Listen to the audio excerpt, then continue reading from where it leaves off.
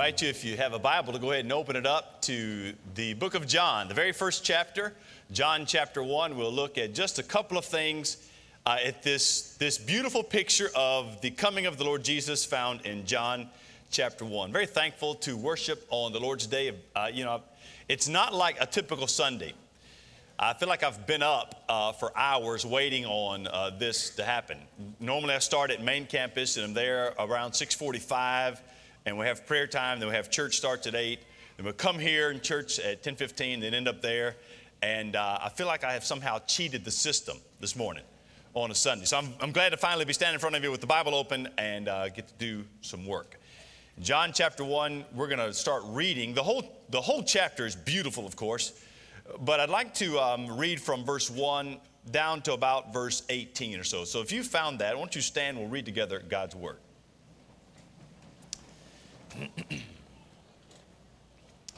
Grass withers and the flowers fade, but the Word of our God stands forever. Let's begin now, verse 1. This is what the Bible says. In the beginning was the Word, and the Word was with God, and the Word was God. He was in the beginning with God. All things were made through him, and without him was nothing made that was made. In him was life, and the life was the light of men. The light shines in the darkness, and the darkness has not overcome it. There was a man sent from God, his name was John. He came as a witness to bear witness about the light that all might believe through him. He was not the light, but came to bear witness about the light. The true light, which gives light to everyone, was coming into the world. He was in the world, and the world was made through him, yet the world did not know him. He came to his own, and his own people did not receive him. But to all who did receive him, who believed in his name, he gave the right to become children of God, who were born not of blood, not of the will of the flesh, nor of the will of man, but of God. And the Word became flesh, dwelt among us, and we have seen His glory. Glory as of the only Son from the Father, full of grace and truth. John bore witness, that's John the Baptist, John bore witness about him and cried out, This was he of whom I said, He who comes after me ranks before me, because he was before me. For from his fullness we have all received grace upon grace. For the law was given, the law was given through Moses, grace and truth came through Jesus Christ. No one has ever seen God, the only God who is at the Father's side. He has made him known. Do you join me as we pray? Father, I pray that our hearts would be filled with the joy of Christ, that this day might be a day of celebrating what the experience, the conversion experience, brings us. And so speak clearly from your word to our hearts by the power of your spirit. In Jesus' name we pray. Amen. Amen. You may be seated. Very soon after this day, we get through New Year's, and the feeding frenzy that most of us has been, have been on will be over.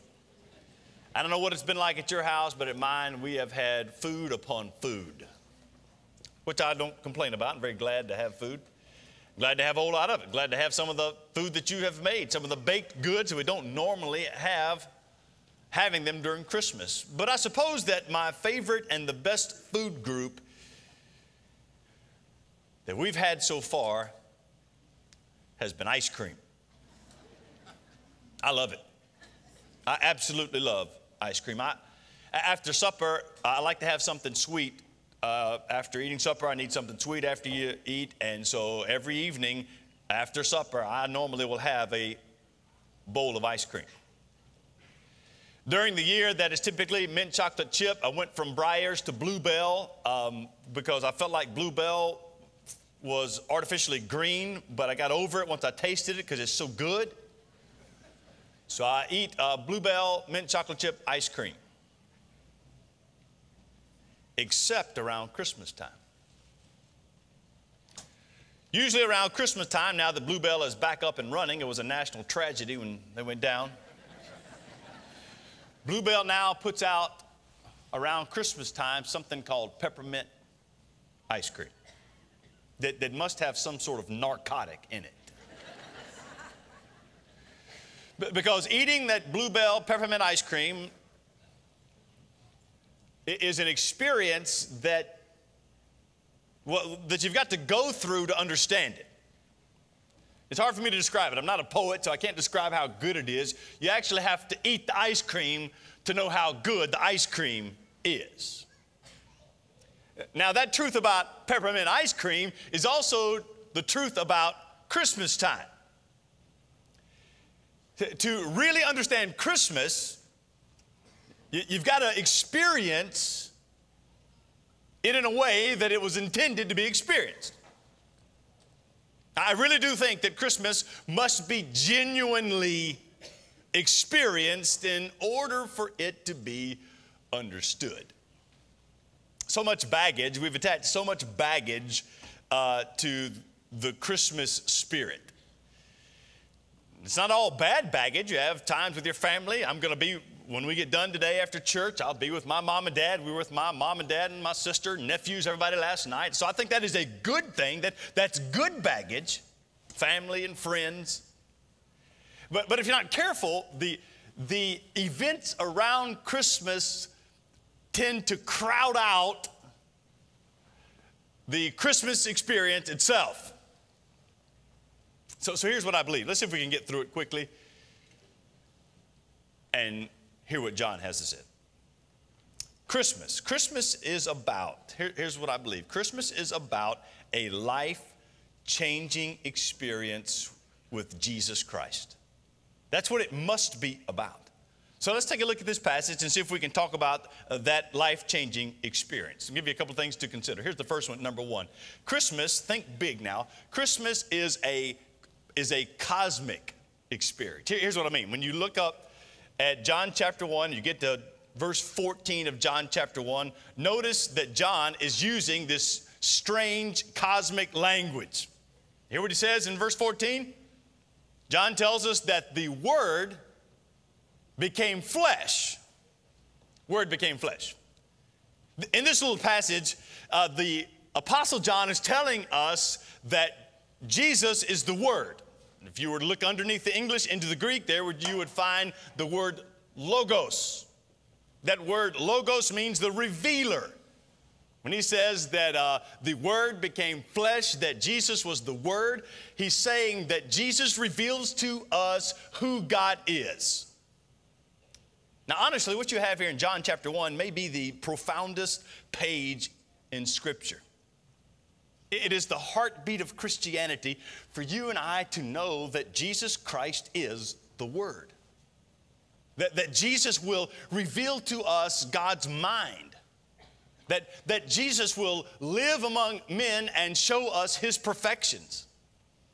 That Jesus will, in the fullness, express to us God's will that Jesus is the embodiment, He can lay bare for us the heart of God. The, the, the word logos, that is, a, um, that is the divine title, that He is all God. But verse 14 tells us that the logos, the word, became flesh. That, that word flesh, that would give us the human title. This is part of our essential uh, doctrine as Christians. Part of what makes us Christian is believing that the baby born and put in a manger was all God and all man. That he is forever and forevermore shall be the God man. And so, as the Word, think of it like this as the Word, he is the Son of God. As the flesh, he is the Son of Man the Bible would say it like this As flesh, in the Old Testament, he is the woman's seed. As the Word, he would be the wonderful counselor. As flesh, the Old Testament would say, he would be a prophet like Moses. As the Word, he would be the mighty God. As the flesh, he would be a descendant of David. As the Word, he would be the everlasting Father. As the flesh, He would be a man of sorrows as the Word, he would be the Prince of Peace. You see, you see, the text tells us that the Word became flesh. It is, a, it is a cosmic experience. It's good for us, and it's good for you that are children here to, to, to understand that this great God became finite. That, that that which is invisible, you can't see, became something that is tangible. That the, that the unknown became knowable. That that which is far off has been drawn near, that the unsearchable is something you can actually see and, and know and behold, that the Word became flesh, a cosmic experience. Something else to consider from this passage not only is Christmas a cosmic experience, Christmas is a supernatural experience. Let me show you where I get that in the text, verse 14. Uh, John tells us that the Word became flesh and dwelt among us. Dwelt among us. That word dwelt, they came here, stayed with us. If you've got any family that have come from out of town, they are dwelling among you which may not be a good analogy because in a little while you might be glad for them to go back home. Tomorrow, Connie and I, and me and Connie and Nate get in the car and we'll drive to South Mississippi. And there in South Mississippi, we'll stay at her mom and dad's house and we'll dwell among them. We'll be there. That word dwell, uh, it corresponds with the, the word in the Old Testament. You might know it as the word tabernacle. That, that word tabernacle means to pitch your tent to go into a community and to live there. So, what the tabernacle was in the Old Testament, where people would meet with God and God would come down and meet with them, what the tabernacle was in the Old Testament, Jesus is in the New Testament.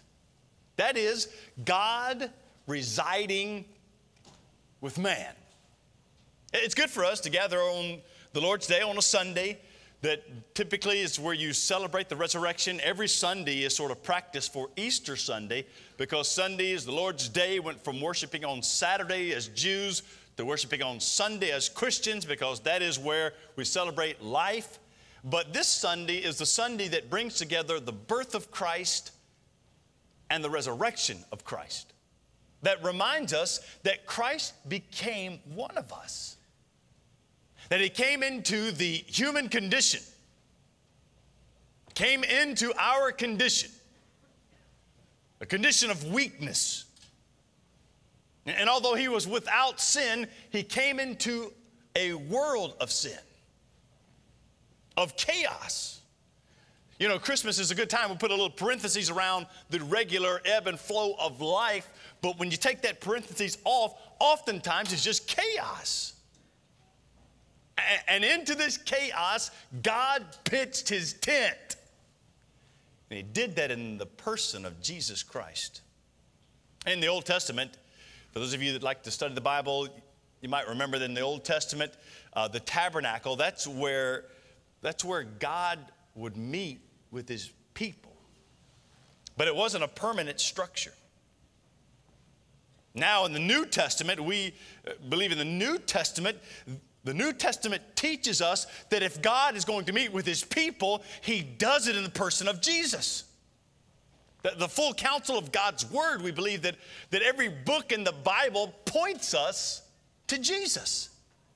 That, that the only place, in fact, we'll go so far as to say, that's why, that's why Christmas is, is so specific to Christianity and it's so necessary for us to hold on to the doctrine of the virgin birth, the doctrine of the incarnation.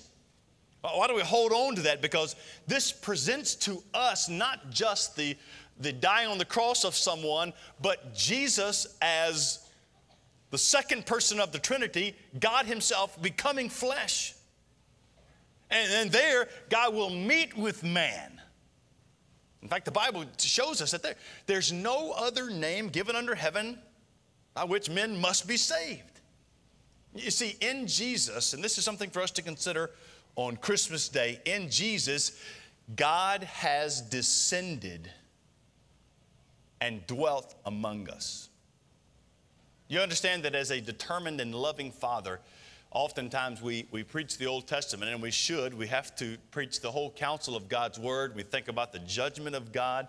But, but Christmas is for us remembering that, that God serves as a, as a determined, loving Father seeking reconciliation. It, it's appropriate that Christmas becomes such a great time of reconciliation for people.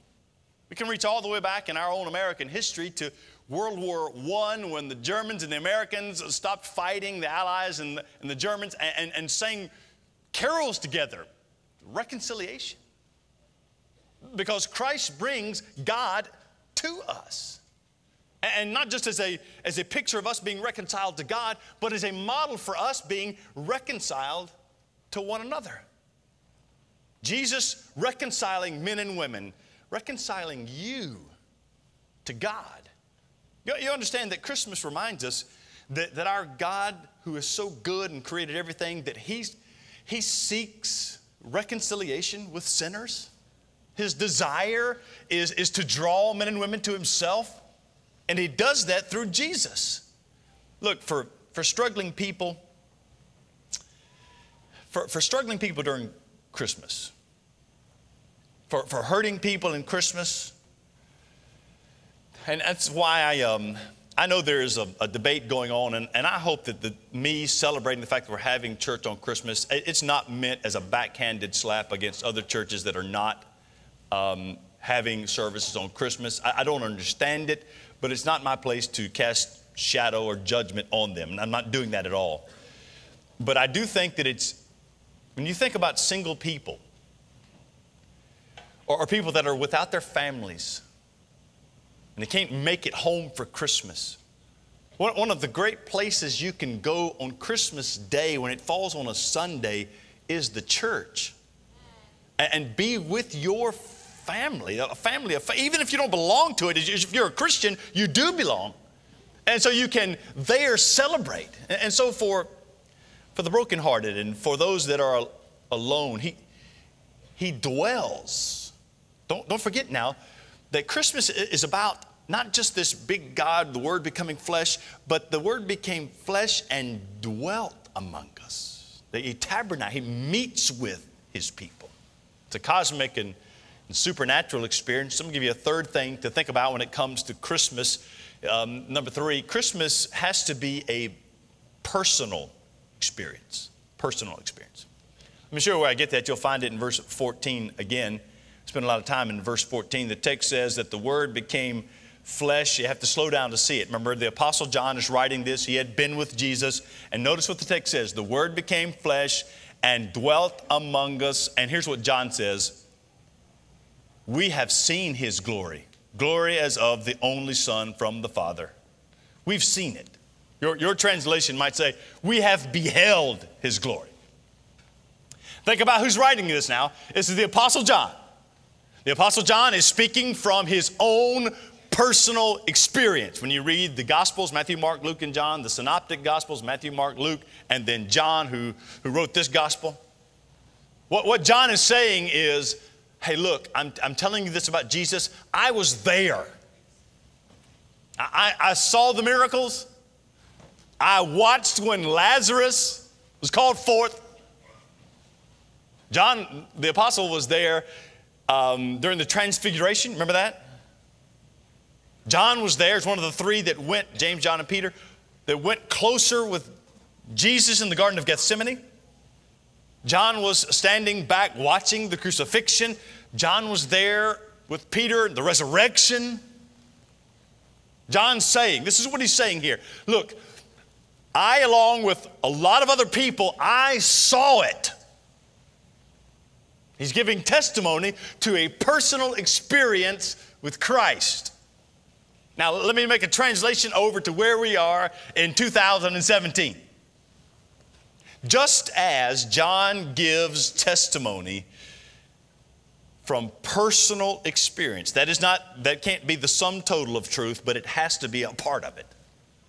Just as John gives testimony to personal experience, so it is for us around Christmas, it's important that, that it, that it must flow out of a personal encounter with the living Christ.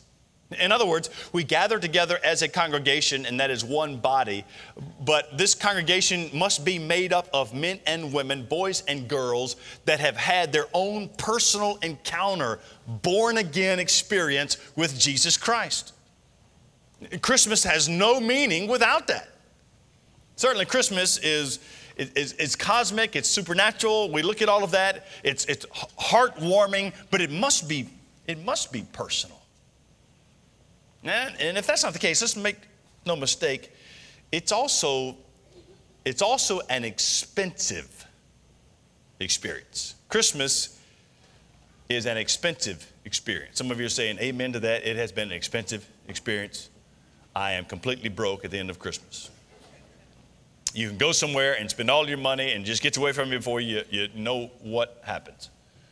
Or if you, um, if, you, if you have a family and you gather together for Christmas, a lot of time at uh, Connie's family will draw names. So you're not buying a present for every single person, which if you're a kid, that's no fun. You know, you want to get a present from everybody. So you, you, you, you, you draw names and you also then will normally cap, cap what it costs. So we're going to spend $20. Uh, this is your name, you get this, don't spend more than $20. That is not the case. That is not how God views it. The text says in verse 14, the Word became flesh and dwelt among us. We've seen His glory, glory as of the only Son from the Father. Only Son. You might want to circle that. When, you, when it's written down, not just in English, but underneath it in Greek, mono, one, genes, born. It's written like this There's only been one like that that's ever been born. The most spectacularly unique human to ever live. And to tack onto that, it says, from the Father. Now, oftentimes when it comes to buying presents, you might put a limit on it. At your home, you might put a limit on what you're going to spend on one another, what you're going to spend on your children, which, by the way, I think that is a good thing to do. You put a limit on what you're going to spend. Not so with God. That is not so with God. That is not how God has operated in this universe to reach us. And in fact, one of the greatest Christmas scriptures must be John chapter 3, Verse 16, for God so loved the world that he gave his only son. That, that Christmas is, is driven by his love. That the Old Testament and the New Testament, both of them speak to what it cost the Trinity to save you. For, for, for God to do what He's done to save us. It was expensive. I, I use the word expensive, and I think I'm using it rightly because we've, the, the Bible teaches if you're a believer, Christmas is a good time to remember that you have been bought with a price, and the currency, the currency is the blood of Jesus. An expensive experience. Notice with me also about Christmas. Christmas should be a balancing experience, balancing. Let me go back to the text in verse 14. Look at the verse again and read it. And there at the very end, you'll find where I get the balance from. Verse 14 The Word became flesh and dwelt among us. We've seen His glory. Glory is of the only Son from the Father, full of grace and truth. Grace and truth. You must understand that Christianity carries both of them grace and truth. And there you have, in grace and truth, this is probably not the forum to do it, but you have two theologically charged words that we've got to hold on to in, in both hands. But grace in one hand, truth in the other. Grace and truth. Hopefully, you have a pretty good idea of what grace is. Christmas is a good time to be re- reminded of grace. Grace is receiving a gift that you do not deserve and one that you could not earn. A free gift. That's grace. And one of the prominent themes throughout the Bible in, in, regards to salvation is that you, you cannot earn any of what you get. And although we exchange presents with one another, and that's a good thing to do, I like to get presents, I like to give presents. At our house, Connie does all the shopping for everybody. And I shop for one, for Connie. It's the greatest deal in the world. I shop for one person. But the truth is that a lot of you give gifts to one another, and if you were to save up enough money, the gifts you get from people, if you had to, you might could buy it for yourself. And although you're thankful to get whatever gifts you get, and sometimes they're more than you would ever spend on yourself, if you were pressed to do it, you could, over the course of time, it might take you a year or so, save up the money, you could buy that for yourself. And so while there is at least some shadow of the thanksgiving we have to people when they give us something, some free gift, it, it, it doesn't completely tell the story. One of the prominent themes of the Bible regarding salvation is that, that you can't earn, even if you tried to get the gift God gives us, there's no way you could pay for it. We get salvation as a gift that is impossible to earn. In fact, Paul said it best, as he said so many things best in Ephesians chapter 2. Paul says, It is by grace, for by grace you have been saved through faith. And, and this is not of your own doing, it's a gift of God. It's not as a result of works, therefore, nobody here can boast. Grace. The grace of God is a gift, but that's, that's just one hand, and the other hand is the word truth. The grace of God is the gift of Christ and salvation, but next to this story is the word truth. And the word truth must be applied throughout the gospel. The, the truth, and the way I normally will do it on any given Sunday, is is give the sort of the outline for salvation God, man, Christ response. God is holy, man is a sinner. Christ died on the cross in the place of sinners, and the way that is applied to us is through faith. Now, here's not the spot on Christmas Day with all the kids here. Here's not the spot for me to do a complete exegesis on truth, except to say that, that grace without truth if, if you have grace without truth, you have universalism. That's not the gospel. If you have, if you have truth and all you have is truth without grace, well, that's judgmentalism. That's legalism. That's not the gospel. Uh, but the text tells us that Jesus Christ is full of grace and truth. That, that Christmas gives us this, this balanced experience that says the truth is we can never meet the standards of God, but the grace of God is that in Christ they've been met and that is applied to us. It's a beautiful, a beautiful truth for you to grasp. Here's something else about Christmas. I'll give you a, a sixth, maybe a seventh, and an eighth. I have about 10 or 12 of these, but it's Christmas. My gift to you will be I won't preach the whole thing. Here's number six. Uh, Christmas is a Christmas is a permanent experience, permanent. Let me, let me read verse 15. Let's get off verse 14 and uh, go to verse 15.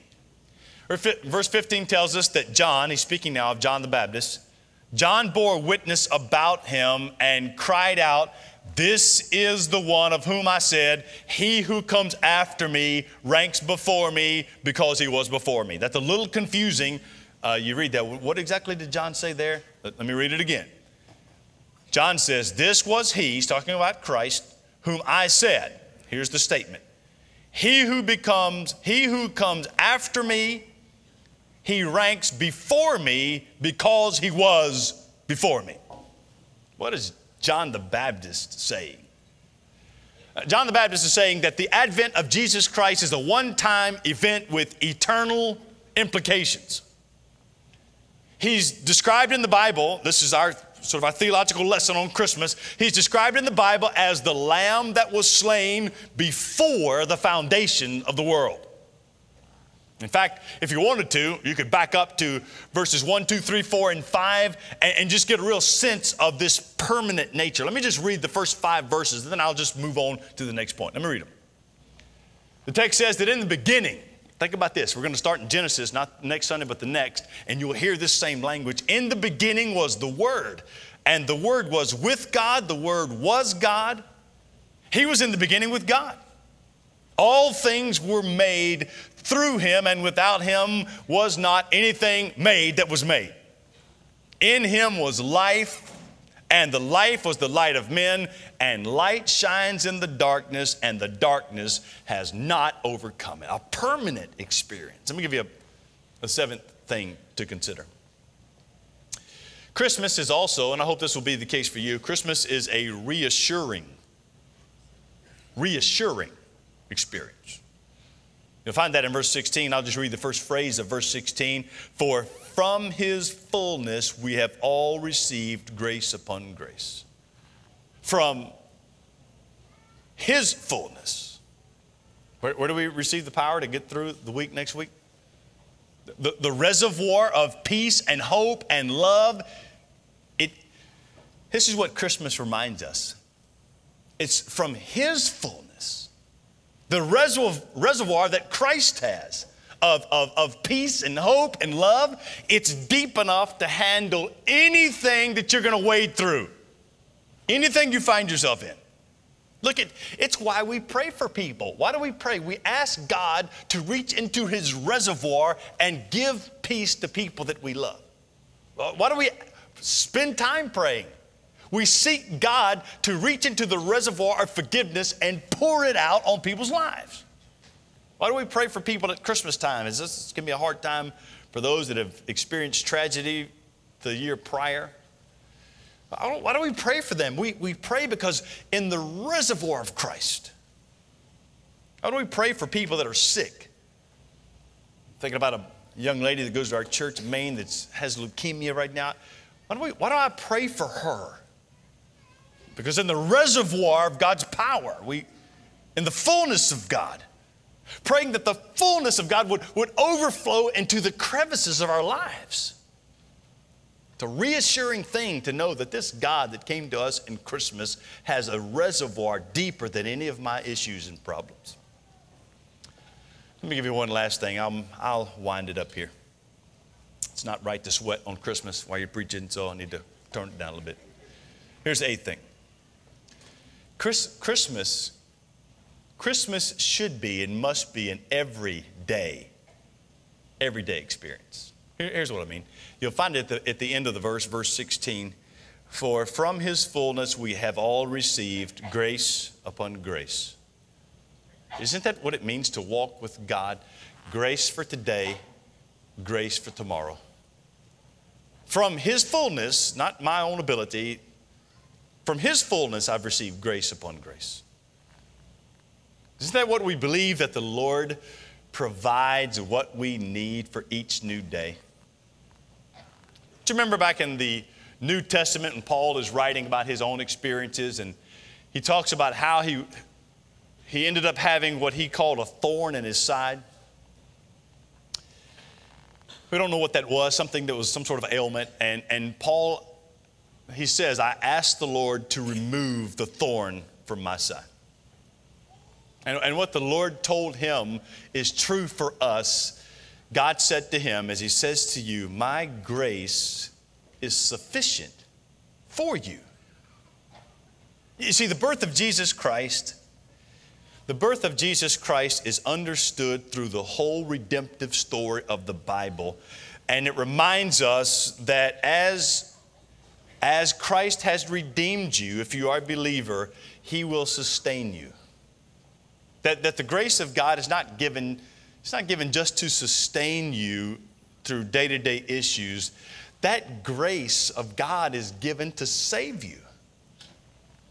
Remember the way Matthew tells the story? Matthew tells us that the angel told Joseph, who would be Jesus' stepfather, the angel told Joseph, You will call his name Jesus because he will save his people from their sins.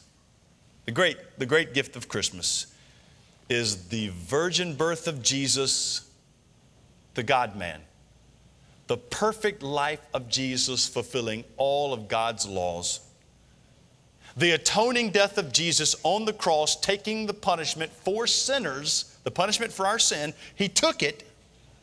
The victorious resurrection of Jesus from the dead. Here is the gift of Christmas It is a gift that must be received by faith. It is my prayer as a brother, as a friend, as a pastor, that you will receive Jesus Christ this Christmas. You join me as we pray together, close out our time of worship. Your heads bowed this morning as we go to the Lord in a time of prayer. If God has spoken to your heart here on Christmas Day, you've thought through what it means to give your life to Jesus Christ. In a few moments, we'll have what we call a song of invitation. That is us inviting you to come forward, to talk to a pastor about what it means to give your life to Christ. Or maybe that doesn't, doesn't seem like something you want to do, but you would like to have a conversation. After church this morning, our pastors will be out in the lobby and be more than happy to talk to you about what it means to actually believe in the life and death and resurrection of Jesus. It is our prayer that you experience Christmas the way God intends for us to experience Christmas. Father, thank you for your word that is good. Thank you for the day to gather with my church family and celebrate the resurrection on the day we celebrate the birth of Jesus. And I pray that that, that truth would be applied to the hearts of men and women here. In Jesus' name we pray. Amen. Do stand, please, as we sing together.